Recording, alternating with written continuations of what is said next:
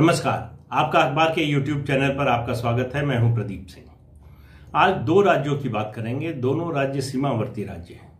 और दोनों से जो खबरें आ रही हैं, जिस तरह की राजनीतिक गतिविधियाँ हो रही है, हलचलें हो रही हैं, वो चिंता पैदा करने वाली चिंता किसी राजनीतिक दल के लिए नहीं चिंता किसी एक वर्ग या एक एक समुदाय के लिए नहीं चिंता देश के लिए। देश की एकता और अखंडता के लिए। और ये जो दो राज्य हैं, इनमें जम्मू कश्मीर नहीं है। मैं जम्मू कश्मीर को शामिल नहीं कर रहा हूँ, उसकी बात नहीं कर रहा हूँ ये दो राज्य हैं, पश्चिम बंगाल और पंजाब। पश्चिम बंगाल में क्या हुआ चुनाव के दौरान, उससे पहले और उसके बाद खास तौर से चुनाव के बाद की जो हलचलें हैं, जो भी गतिविधियाँ हैं, जिस तरह से हाई कोर्ट और सुप्रीम कोर्ट में मामला चल रहा है, जैसे राष्ट्रीय मानवाधिकार आयोग उसकी जाँच कर रहा है उन सबको देखते हुए और मुख्यमंत्री का जो रवैया है, वो ऐसा लगता है कि जैसे पश्चिम बंगाल भारत से स्वतंत्र हो चुका है। इस तरह की बात जो है, वो भूटान भी नहीं करता, जो स्वतंत्र देश है, कुछ मामलों में उसका भारत के साथ एक समझौता है और रक्षा विदेश मामले और दूसरे मामलों में। वहाँ से भी आपको इस तरह की आवाज़ नहीं सुनाई देगी। ममता बनर्जी अब पश्चिम बंगाल के राज्यपाल जगदीप धनखड़ पर व्यक्तिगत हमले कर रही हैं, झूठे आरोप लगा रही हैं, और उनको कोई रोकने वाला नहीं उनको सरकार का मतलब अब चूँकि चुनाव हो चुके हैं तो इसलिए जनता के डर का सवाल नहीं। जितना बड़ा बहुमत मिला है, उसके बाद उनका हौसला और बढ़ा हुआ है। उनको केंद्र सरकार का कोई डर नहीं है। केंद्र के किसी एक्शन का कोई डर नहीं है। केंद्र की किसी चेतावनी का डर नहीं है। उनको अदालतों का भी डर नहीं जिस तरह से मामला चल रहा है अदालतों में, अदालतें जिस तरह से उनकी सरकार के खिलाफ स्ट्रक्चर पास कर रही हैं, जिस तरह से उनकी सरकार को कटघरे में खड़ा कर रही हैं, उसके बावजूद उनके रवैये में कोई अंतर नहीं आया है।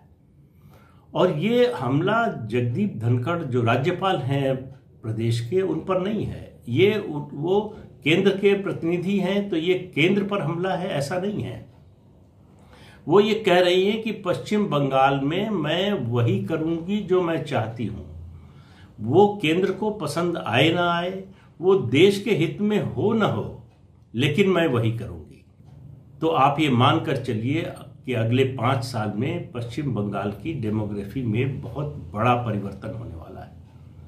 आज जो लोग चिंता कर रहे हैं, आज की डेमोग्राफी को लेकर कि रोहिंग्या आ गए, बांग्लादेशी घुसपैठिए आ गए, वोटर बन गए, आधार कार्ड बन गया, उनको दूसरी सुविधाएँ मिल गई। ये कुछ नहीं है जो अगले पाँच साल में होने वाला है, क्योंकि अब ममता बनर्जी निरंकुश हो गई हैं, निर्भीक हो गई हैं। निर्भीक होना अच्छा अच्छी बात होती है, लेकिन अगर कानून का डर खत्म हो जाए, संविधान का डर खत्म हो जाए तो ये अच्छी बात नहीं होती। तो केंद्र के पास विकल्प क्या है? केंद्र के पास विकल्प हैं उनको चेतावनी देने का केंद्र के पास विकल्प है राष्ट्रपति शासन लगाने का, लेकिन केंद्र के रवैये से अभी तक ये लगता नहीं कि केंद्र सरकार ऐसा कुछ करने जा रही है। उनके जो रिटायर्ड अभी चीफ सेक्रेटरी हैं, उनके उनके मामले को लेकर जिस तरह से केंद्र और राज्य सरकार में ठनी, ममता बनर्जी ने केंद्र सरकार की एक नहीं सुनी। और वो अपनी अपनी मनमर्जी जिस तरह से चला रही हैं, जिस तरह का वो नैरेटिव खड़ा करने की कोशिश कर रही हैं वो सब एक बड़े खतरे का संकेत है। मैं ये नहीं मानता कि केंद्र सरकार हाथ पर हाथ धरे रख बैठी है और कुछ नहीं कर रही है या कुछ नहीं करेगी। निश्चित रूप से कोई योजना होगी, कुछ करने की तैयारी होगी। लेकिन वो क्या है लोगों को पता नहीं। जो लोग वहाँ इस परिस्थिति से गुजर रहे हैं, जिनके घर के लोग मारे गए हैं, जो पलायन को मजबूर हुए हैं, जिनके परिवार में बहन बेटियों के साथ दुर्व्यवहार हुआ है, जिनके घर जलाए गए हैं, उनकी दशा, उनको उनको आश्वासन, उनको कैसे भारत का संविधान ये आश्वस्त कर सकता है, उनके जो संवैधानिक अधिकार हैं, उसकी रक्षा की जाएगी, उनको सुरक्षा मिलेगी। अगर राज्य सरकार जो लोगों की सुरक्षा के लिए जिम्मेदार है, वही उन्हें असुरक्षित बनाए तो वो किसके पास जाए? भारतीय संविधान में इसकी इस तरह की कोई व्यवस्था नहीं, ये कल्पना नहीं की गई थी कि राज्य सरकार, चुनी हुई सरकार, बड़े मोहम्मद से चुनकर आई हुई सरकार, वो अपने ही लोगों के खिलाफ हो जाएगी। और जो कुछ हो रहा है, उसके बारे में अगर कोई पूछेगा, राजनीतिक दल, कोई दूसरा गैर राजनीतिक संगठन, अदालत पूछेगी तो आँख बंद कर लेंगे, ये कुछ नहीं हो रहा। है अदालत ने, कैलकाटा हाईकोर्ट ने मान लिया है कि बहुत कुछ हो रहा है। और जो हो रहा है वो अच्छी स्थिति नहीं है। वो किसी भी जनतांत्रिक देश में नहीं होना चाहिए। चुनी हुई सरकार के दौर में नहीं होना चाहिए, लेकिन सब कुछ हो रहा है। तो हल क्या है पश्चिम बंगाल का? लोग तरह तरह के सुझाव दे रहे हैं। एक एक चर्चा आजकल ये भी चलने लगी है कि पश्चिम बंगाल को दो राज्यों में बांट दिया जाए। बात ये नहीं कि दो राज्यों में बांट दिया जाए कि तीन राज्यों में बांट दिया जाए ती, तीन सौ छप्पन लगा दिया जाए राष्ट्रपति शासन लगा दिया जाए ये सब मामला नहीं है। तो बात है प्रवृत्ति की सोच की जिस तरह की राजनीतिक सोच है कि देश का क्या होगा देश की डेमोग्राफी पर क्या असर पड़ेगा इन कदमों का जो पश्चिम बंगाल की सरकार उठा रही है। जिस तरह से सीमा पार से घुसपैठ को खुली छूट दी जा रही है, जिस तरह से वहाँ के लोगों को जो तृणमूल कांग्रेस के समर्थक नहीं है, उनके खिलाफ अत्याचार हो रहा है, इस सब का क्या असर होगा? इससे ममता बनर्जी को कोई मतलब नहीं है। और मुश्किल ये है कि जो लोग जरा सी छोटी सी घटना पर देश और विदेश तक जो है हल्ला हंगामा करते हैं, मुद्दा उठाते हैं वो आँख बंद करके बैठे हुए हैं, कान में तेल डालकर पड़े हुए हैं। उन, उनको उनको ये सब नज़र नहीं आ रहा जो पश्चिम बंगाल में हो रहा है। तो पश्चिम बंगाल के लिए केंद्र सरकार क्या करेगी? इसका पूरे देश को बड़ी बेसब्री से इंतज़ार है कि केंद्र का अगला कदम क्या होगा। इसको रोकने के लिए क्या किया जाएगा? क्या स्थिति को इसी तरह से बिगड़ने दिया जाएगा? ये सारे सवाल हैं जो आम लोगों के मन में उठ रहे हैं और इसका लोग अब जवाब चाहते हैं। एक बात, पंजाब की बात करते हैं पंजाब में स्थिति आप ये समझिए कि किसान आंदोलन के कारण किसान आंदोलन को आप किसानों से जोड़कर मत देखिए मैं शुरू से कह रहा हूँ। मैं कह रहा था आड़तियों का आंदोलन है उन आड़तियों के भी पीछे जो ताकते हैं वो दरअसल अलगाववादी ताकते हैं। उनको बाहर से पैसा मिल रहा है उसकी फंडिंग हो रही है। ये सारी जो इतना लंबा सम, लंबे समय तक किसान आंदोलन चल रहा है और सरकार कोई एक्शन नहीं ले रही है। दिल्ली के बॉर्डर पर बैठे हुए हैं किसानों के नाम पर जो लोग, दरअसल इनकी मंशा ये है कि किसी तरह कुछ ऐसा हो कि सरकार गोली चलवाए। जो 26 जनवरी को लाल किले पर और दिल्ली में हुआ, वो उसी कोशिश का हिस्सा था कि एक बार सरकार गोली चलवाए।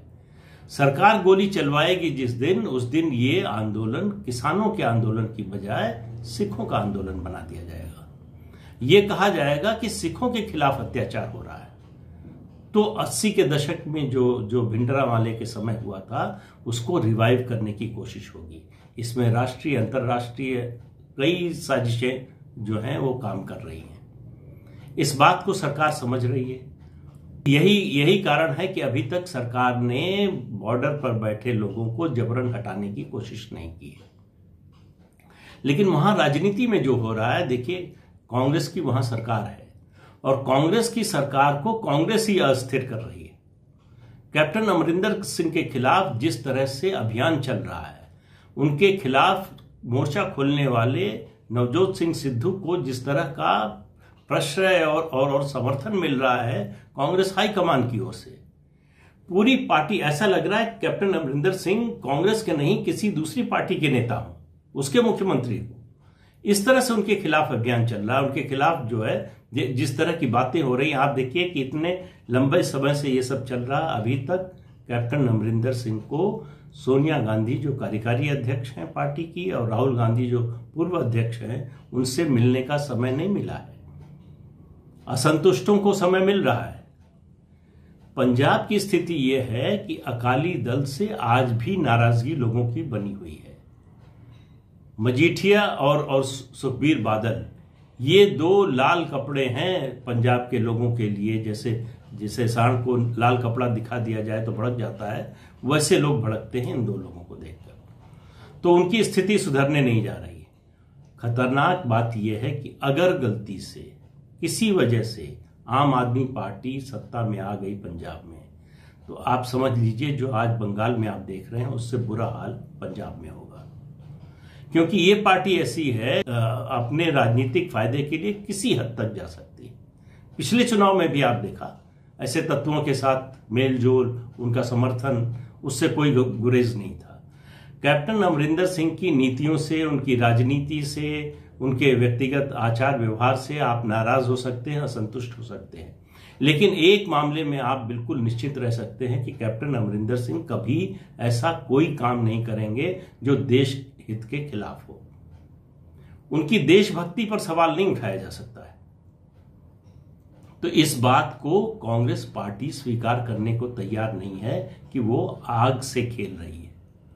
पंजाब में अगर हालात बिगड़े, देखिए ये दोनों राज्यों की जो मैं बात कर रहा हूँ, दोनों राज्य दोनों राज्य सीमावर्ती राज्य हैं।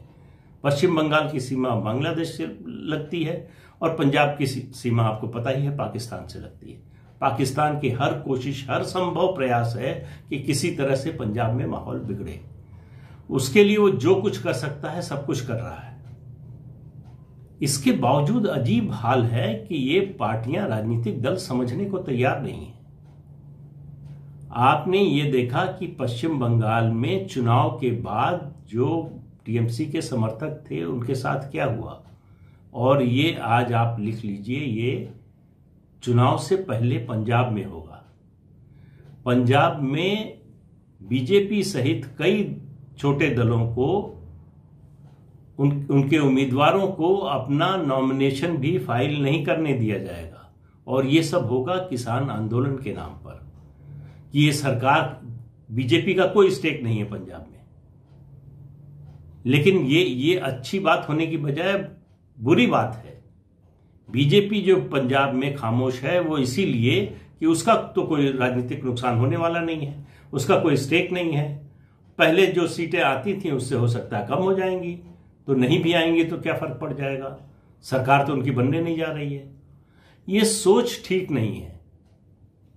ये सोच देश के लिए ठीक नहीं है, जो कांग्रेस पार्टी कर रही है, जिस तरह से बीजेपी खामोश है उस पर, उसको देखते हुए और जो भूमिका अकाली दल निभा रहा है। इन तीनों पार्टियों को मैं मानता हूँ कि जो मौजूदा स्थिति है, उसमें अगर गिरावट आती है, उसमें अगर बदलाव आता है, बुरी स्थिति की ओर जाता है तो ये जिम्मेदार होंगी। और ये तीनों पार्टियाँ मिलकर आम आदमी पार्टी को अवसर दे रही हैं। देखिए, दिल्ली में आपने आम आदमी पार्टी को देखा है, पंजाब के चुनाव में देखा है, जिस तरह की स्थिति है लोगों ने, मैं अपनी बात नहीं कर रहा हूँ, किसी और की बात नहीं कर रहा हूँ, मेरा आम आदमी पार्टी से कोई लेना देना ना, नहीं है, कोई राग द्वेष नहीं है। पंजाब के लोगों ने, जिस तरह का माहौल 2017 में था, लगभग लग रहा था कि आम आदमी पार्टी को सत्ता सौंपने को तैयार है। लेकिन उनके इन्हीं तत्वों से, ये जो खालिस्तानी या खालिस्तान समर्थक हैं, उनके साथ उनकी, उनका मेल जोल देखकर पंजाब के लोगों ने पूरे ज़ोर शोर से कांग्रेस पार्टी को जिताया। कैप्टन अमरिंदर सिंह को दो तिहाई बहुमत दिया। तो पंजाब की आम जनता, आम मतदाता जो बात समझ रहा है, वो राजनीतिक दल नहीं समझ रहे और अगर अब भी नहीं समझेंगे, नहीं चेतेंगे तो इसका बहुत बड़ा खामियाजा भुगतना पड़ेगा। पंजाब और बंगाल दोनों में यह अस्थिरता देश की एकता और अखंडता के लिए खतरा है।